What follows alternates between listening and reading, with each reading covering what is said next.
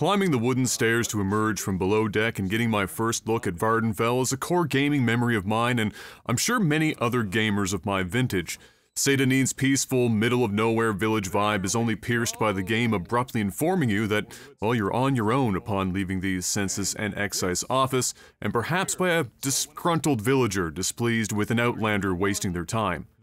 Crossing the bridge to leave the town brings all the excitement and thrill of a newborn adventure, as well as all the uncertainty of the unknown as you take your first steps into what is a familiar yet alien landscape.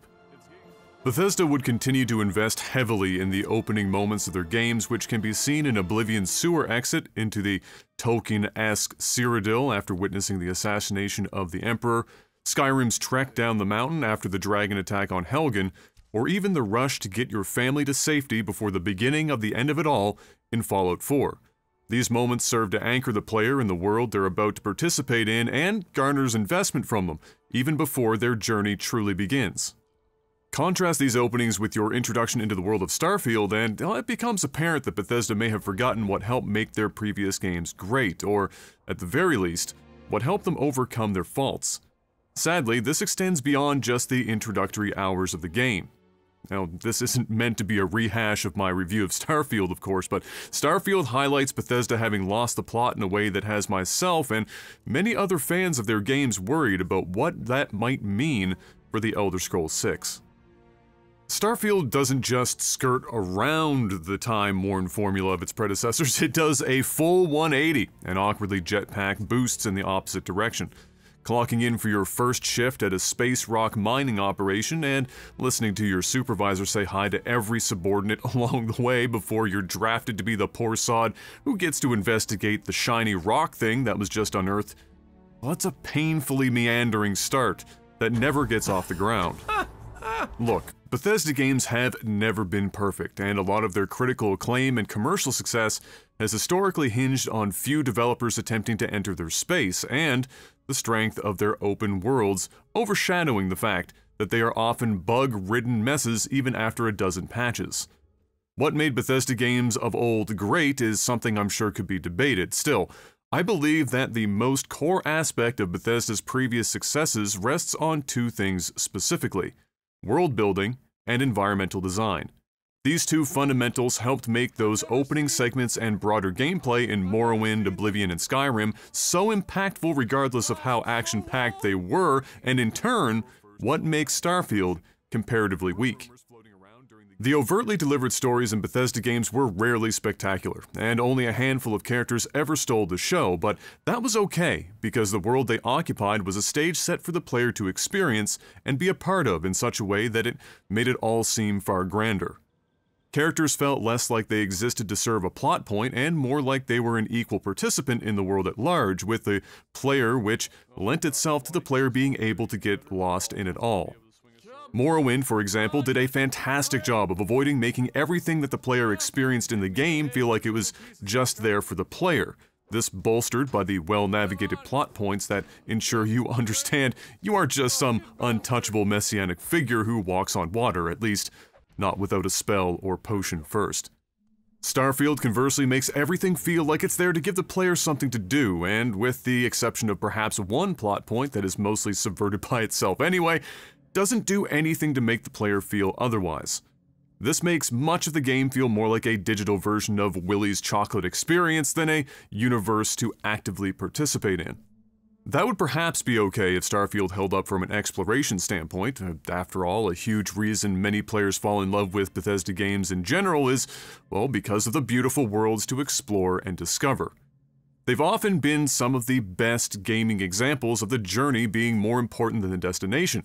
Sadly, this too is where Starfield doesn't just fall short, but catastrophically misses the mark.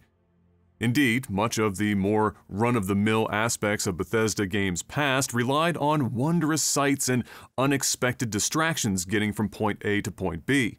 When you remove this trademark design philosophy without making the destination far more valuable, it doesn't leave you with much to get excited about. When Todd Howard was pitching Starfield in pre-release interviews and conferences, much emphasis was placed on the vast number of worlds you'd be able to not just explore but engage with.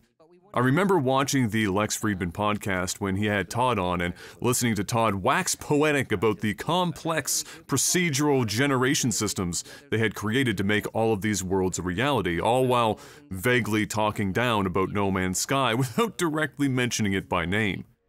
It certainly got my attention in that I had always envisioned how a team with more money and manpower should elaborate upon No Man's Sky's systems and how that could seriously change the face of gaming.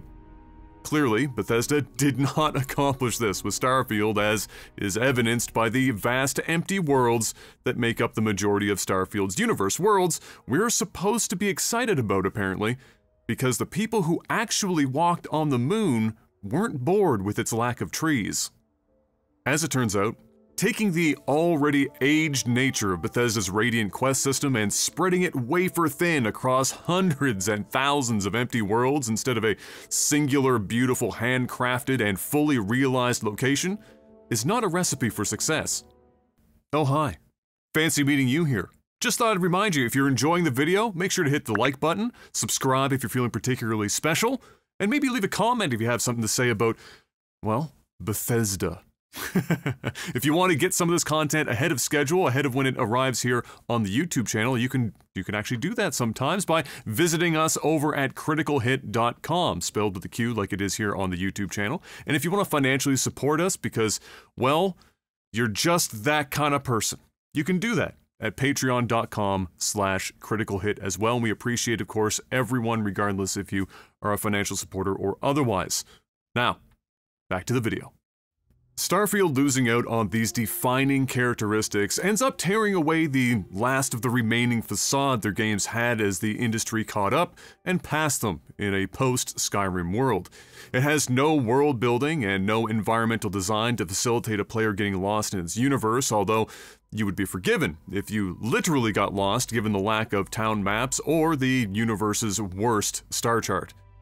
The Witcher 3 is often cited as the watershed moment for the loss of Bethesda's market segment dominance, and I believe that it also falls victim to Baldur's Gate 3, and not just because Starfield's character animations look like they're 15 years out of date. I was confident that Fallout 4 was the canary in the coal mine for Bethesda games, and it seems that was the case. At least Fallout 4 got timely post-launch content support, because Starfield, well, it hasn't received much more than some bug fixes and the ability to open doors while holding your scanner in the six months since release. I think a decent barometer for a successful Bethesda game is the health of the modding community. The more invested the modding community is, the more likely the game has won the hearts of the community at large, of course, it's also another discussion entirely as to whether or not Bethesda has come to lean too heavily upon the modding community to finish their games and provide much of the post-launch support they themselves should be doing, but it's undeniable that games like Skyrim continue to be successful in no small part because of the modding community. Starfield's modding community sadly hasn't shown signs that it's likely to be similar to that of Skyrim's, and instead, it looks like it will get more meager support, like that of Fallout 4. In fairness, as of this writing, Bethesda has yet to release the Creation Kit 2 set for Starfield, which ties the hands of the modders and keeps them from doing any major work. Perhaps, when that is released, things will pick up, but at least one prominent modding team has already stated that they have little interest in building anything for Starfield. What then should Bethesda do to make sure that Elder Scrolls 6 doesn't repeat the same mistakes? I believe that the answer is self-evident, but it comes with added pressure.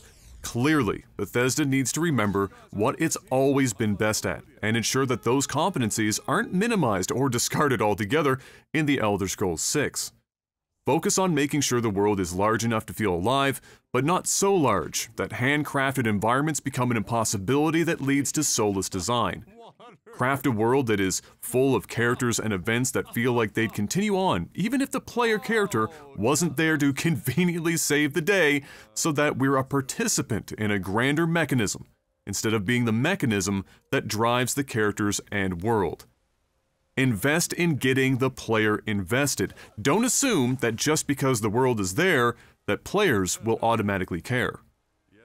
Perhaps an equally important lesson to be learned from Starfield is that Bethesda has to make an effort to modernize nearly every aspect of their games going forward.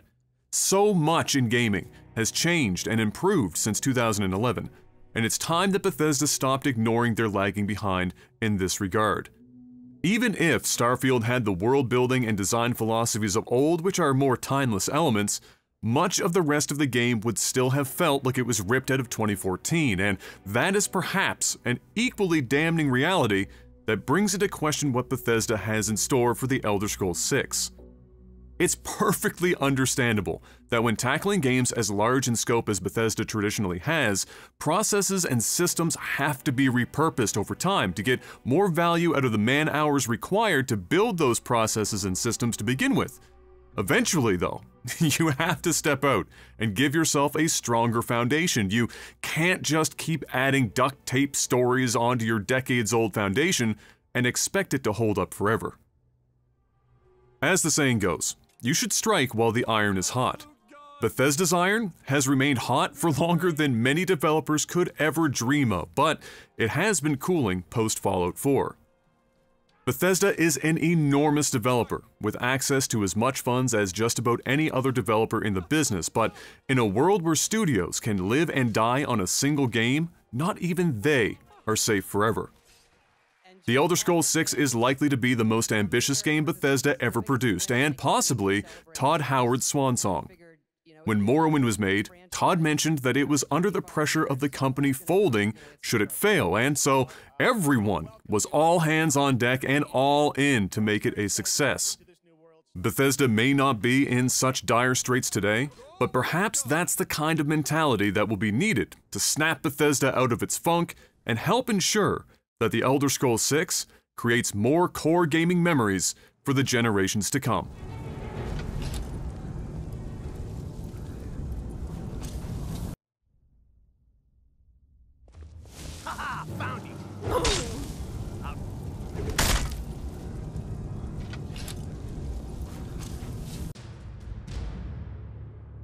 Now you're mine.